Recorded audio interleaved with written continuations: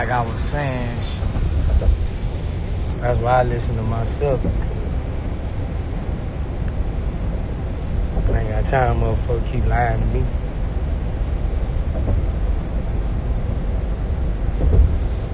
Should be crazy when y'all be fooled by a lot of artists.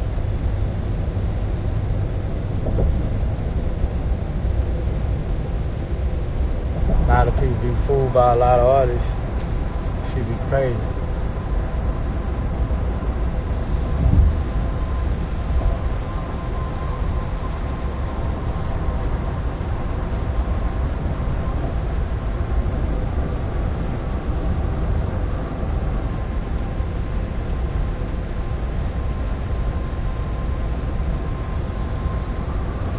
I just stick to the script, I, you know.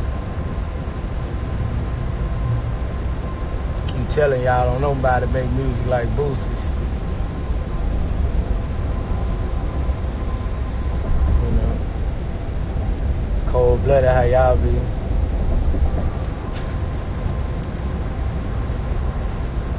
Fans of these people, and they be lying to them motherfuckers. Come to find out your favorite rapper, bitch. Your favorite rapper ain't never sold dope in his motherfucking life. And got you telling you all this shit. Your favorite rapper ain't shit. That's how that shit be. I go with authentic shit. So the only shit I listen to is Boost. My other playlist, shit, I got Riding Tupac, Tupac CD, Riding Dirty, UGK, Get Rich or Die Trying. Uh, what else my other playlist? Uh, that Scarface Untouchable. What else in my playlist? R&B, of course. Uh, DMX. Dog is here. The hell is dog. Both both of the DMXs. Uh, that's basically it in my playlist. Couple cash money, cash money, of course. You gotta have a classic motherfucking CD for me to ride.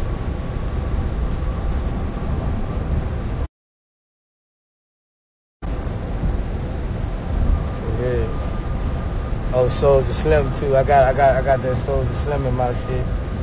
That years later, and that uh, it's hard to maintain a soldier life mentality.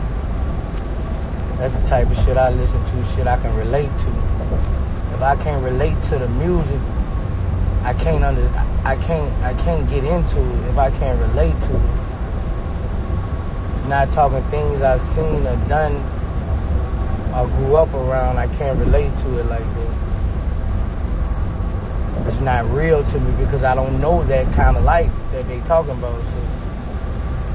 I'm not gonna say it's not a real life. I just don't know that life, so I can't get into it.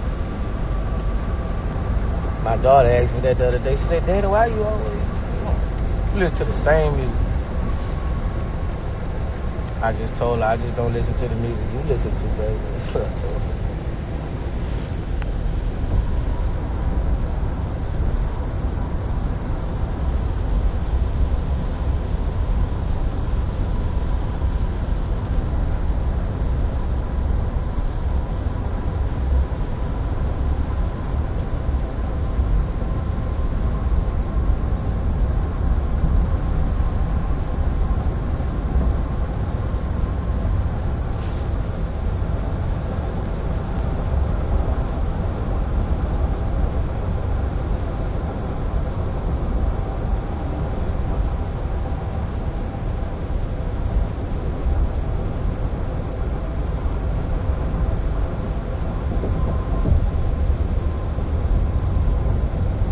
Milwaukee and this motherfucker, you already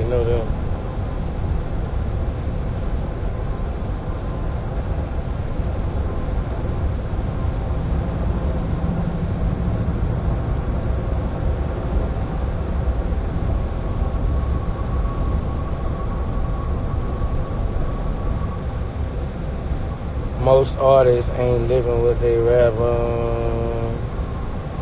Let 50 do the biopsy. Let 50 do my move, man. I hollered at 50 already with it, bro. He 50 Cent ain't got back yet, man. I told 50, bro. I'm gonna do this shit myself, bro. I'm gonna do it myself. Got a, got a, got, got, got, got a meeting in LA. About to move in a couple weeks, so hopefully I get it done, you know. Got a meeting in LA. Whoever do my vibe, my my vibe is gonna win. I, I bet you that. I already got wrote. They hated Jesus, you fucking right. Who you think killed Tupac? Orlando Anderson? Yeah, I think Orlando them smashed him, yep. His uncle say they smashed him. Feel like Tupac just, you know, he stumped out a crip, man. He stumped out a gangster, you know. You come back busting. Know how it go. That's just how it go, man. That's why when you stomp a nigga out, you gotta make sure he don't get up. You know, you gotta stomp him out till his legs broke, to his face, to his teeth out. You know. You gotta stomp him out bad. You gotta, know, you stomp somebody out.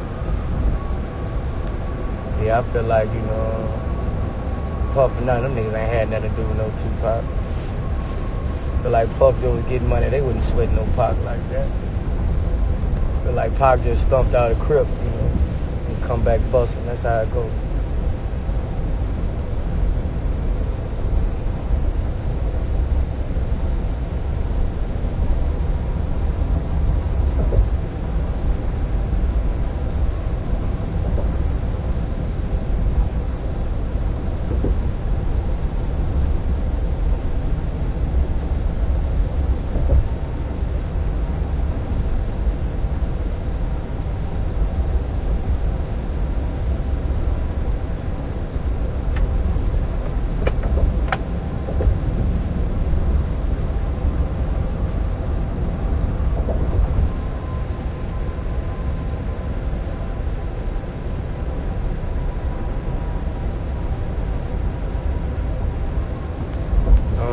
Coming back to the base. Shit, I'm trying to trying to book the Stockton Arena right now, but they trying to text me. I'm doing my own tour. I ain't letting nobody book me on tour. I'm doing my own tour. Doing my own Bupac tour. 4,000 seaters or better. 5,000 seaters or better. My own Bupac tour. We didn't book like nine venues already, so on, on Christmas, we're gonna post the Bupac tour. We doing our own tour. We doing our own motherfucking tour. Only way you book a date on a tour, you got 150,000. You won't be a part of the Bupac tour, and the promoter won't get on that tour. You can book the tour for, you can book a date for 150,000. We ain't got another seven days left.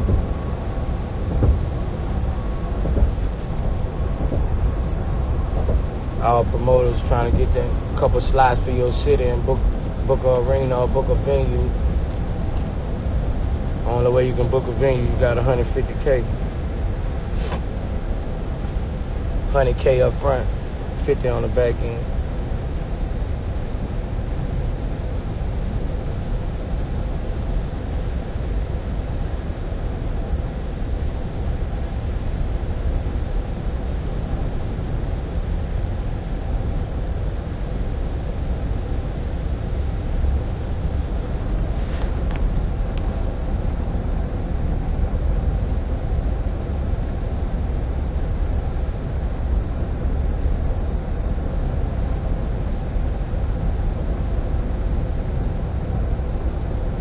So if anybody, you know, trying to get that Bupac tour, Bupac and Friends tour. It's called Bupac and Friends because every date, every tour date, I'm bringing out two different, two two different artists, two major artists with me on every tour date.